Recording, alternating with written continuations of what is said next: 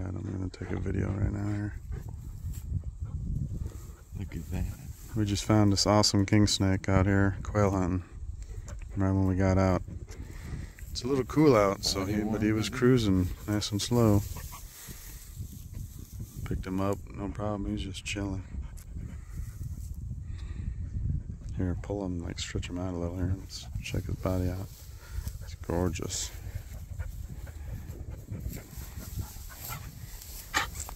Zoe, you got me wrapped up.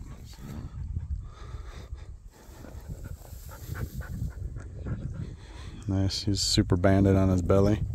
Yeah. And all black up top. Yeah. He's badass. Let me see. Turn him this way. Nice head on him.